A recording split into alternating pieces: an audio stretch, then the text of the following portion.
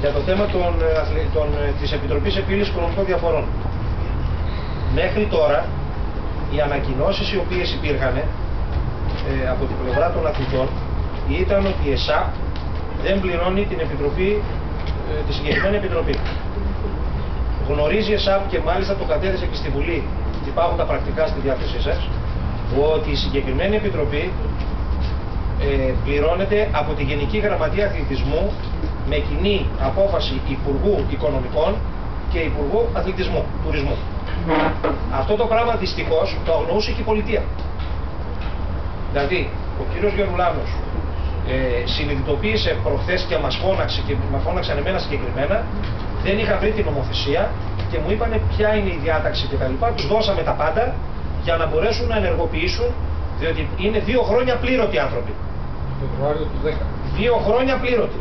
Λοιπόν, εμείς βλέποντας όλη αυτή την ιστορία, αποφασίσαμε τα παράβολα που είναι ένας αθλητής όταν θέλει να κάνει να προσφύγει ή ένα σωματείο, γιατί δεν είναι μόνο οι αθλητές, είναι και σωματεία που προσφεύγουν, είναι 300 ευρώ.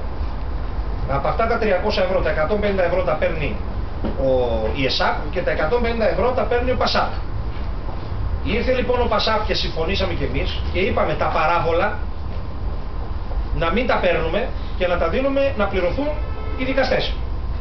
Παράλληλα όμως, επειδή δεν βγαίνουν τα λεφτά, ζητήσαμε... Ε, Για να μην θεωρηθεί αγένεια, ε, πρέπει να προλάβω την πτήση για Θεσσαλονίκη για αυτό το λόγο. Ευχαριστώ. Λοιπόν, Ευγενής. ε, είπαμε, ότι πρέ, είπαμε ότι πρέπει να μειωθούν και οι αμοιβές των δικαστών της Επιτροπής.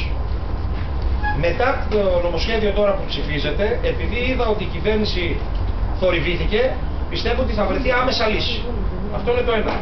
Άρα, σε καμία των περιπτώσεων, τα σωματεία δεν έχουν πει ότι η Επιτροπή αυτή δεν θέλει να λειτουργήσει. Εμείς είμαστε από τους πρώτους που θέλουμε να λειτουργήσει η Επιτροπή. Και θέλουμε να λειτουργήσει για αυτό που είπες. Διότι υπάρχουν ομάδες οι οποίες έχουν πολλές εκκρεμείς υποθέσεις και υπάρχουν ομάδες που δεν έχουν καμία. Είναι ένα από τα θέματα που θα συζητήσουμε όπως είπαμε και θα λύσουμε για το επόμενο πρωτάθλημα. Τώρα, όσον αφορά το αντιτόπι, εδώ υπάρχει άλλο τραγελαφική κατάσταση.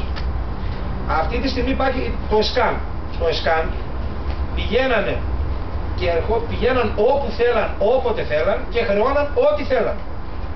Εμείς λοιπόν αρνηθήκαμε σαν ΕΣΑΠ να πληρώσουμε, διότι υπάρχει πάλι απόφαση η οποία λέει ότι το ΕΣΚΑΝ χρηματοδοτείται από την Γενική Γραμματεία Θεσμού. Τα δίνει δηλαδή στην διοργανώτρια αρχή και η διοργανώτρια αρχή πληρώνει. Ουδέποτε η ΕΣΑΠ καταρχήν έχει πάρει λεφτά κρατικό χρήμα, ουδέποτε, και ως εκ τούτου δεν έχει πληρωθεί